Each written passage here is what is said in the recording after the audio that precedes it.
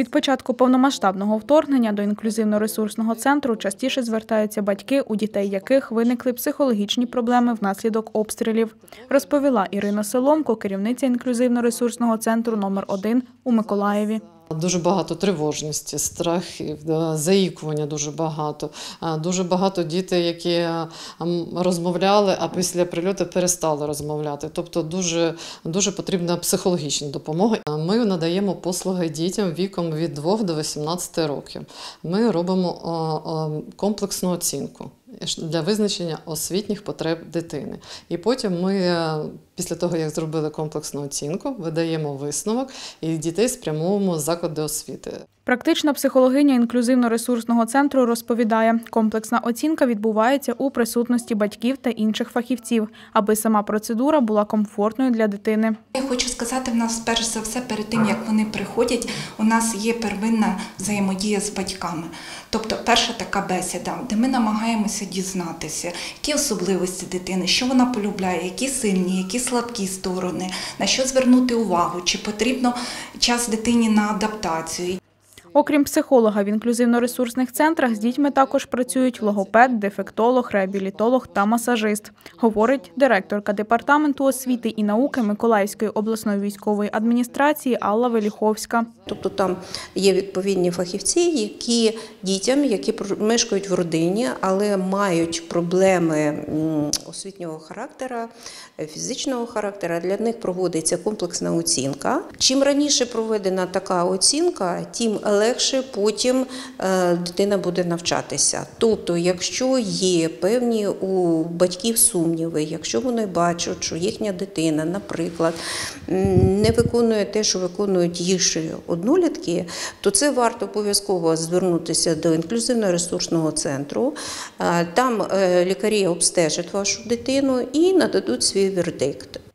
Після оцінки спеціалістів за потреби дитину направляють до інклюзивних класів. Про їх навчання розповіла Олена Москальова, заступниця директора з навчально-виховної роботи однієї зі шкіл міста. Ми розглядали ту програму, яка рекомендувалася для даних учнів. На даний момент це адаптація і модифікація навчального матеріалу. І ми говоримо про те, що учням постійно потрібна підтримка. І коли долучаються спеціалісти вузькі, ну, наприклад, як практичний психолог, соціальний педагог і особливо асистент вчителя, ми говоримо про якість надання послуги. Олена Москальова каже, учні з особливими освітніми потребами навчаються в загальних класах із залученням асистента вчителя, який допомагає вивчати навчальний матеріал та виконувати завдання. На сьогодні у нас налічується 20 учнів з особливими освітніми потребами. 14 учнів знаходяться в Миколаєві. З ними працюють асистенти вчителів у домашньому режимі відповідно розкладу уроків. Шість учнів, які знаходяться в інших містах і за кордоном, вони долучені до онлайн. Навчання з загальним класом, але у них є окремий інклюзивний клас, де вони долучаються до асистента вчителя для допрацювання певних завдань і закріплення теоретичного матеріалу уроку. Загалом на Миколаївщині 1171 дитина потребує інклюзивного навчання. Це діти, які потребують додаткової чи постійної підтримки в освітньому процесі. Із них 311 дітей навчаються в дистанційному форматі, говорить директорка департаменту освіти і науки Миколаївської ОВА Алла Веліховська. Інклюзивна освіта це освіта для дітей з особливими освітніми потребами, а також інклюзія охоплюються ті діти, які мають проблеми фізичного плану, тобто це діти з інвалідністю.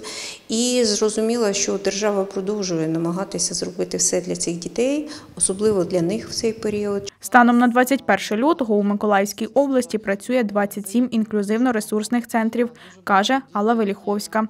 Богдана Будулуца, Олена Земляна, Роман Волинський. Суспільне новини. Миколаїв.